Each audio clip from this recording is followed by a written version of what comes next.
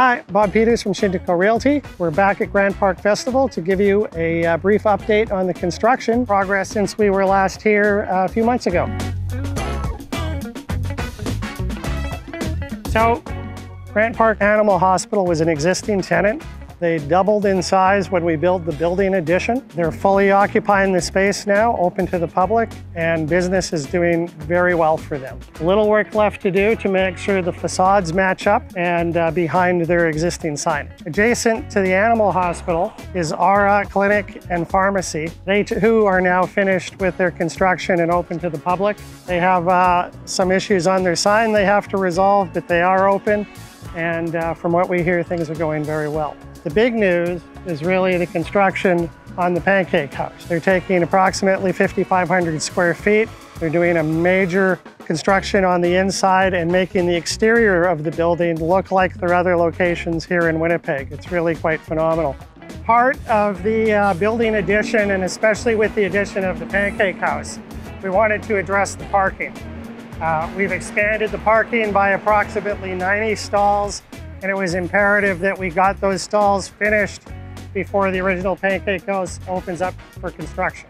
We're anticipating that the parking lot's going to be full, especially on the weekends. So we wanted to make sure that the parking could handle the Pancake House and not impact the rest of our tenants. So we're just coming into the new dining room of the original Pancake House. You can see they've made a great investment in design in this space. And uh, it really pairs well with the construction of the building. We have these massive windows on two sides of the dining room. The restaurant will just be flooded with natural light.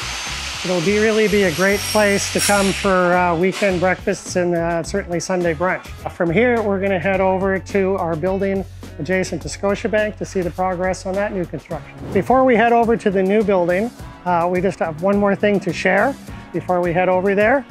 We've leased 1,800 square feet in the middle here to a rheumatology clinic.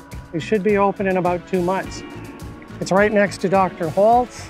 And then we have Geos for Glasses, our optometrist, and we have SkinWise, and we have a clinic uh, we, and uh, physiotherapy recently. So we've really created sort of a one-stop shopping for all your healthcare needs. So now we'll head over to the new construction. So before we go, I just wanted to show you where we're at with our latest uh, new construction building. It's a 6,200 square foot CRU, or commercial retail units. We've designed it to be sort of like five small units. The first two have been leased to Firehouse Subs, and uh, the remainder, so we have a 1,200 square foot unit, a 1,200 square foot unit, and a, about a 1,300 square foot unit remaining to be leased.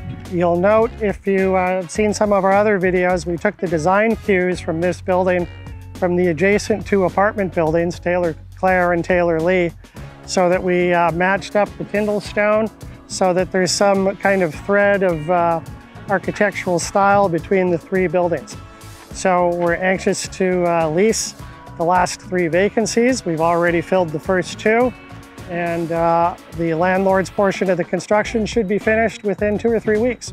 So that's all I have for today. Uh, please tune in in the future to see uh, our further updates. We'll provide updates as we do further leasing and as the original Pancake House opens to the public for business, we'll show you what the finished project looks like.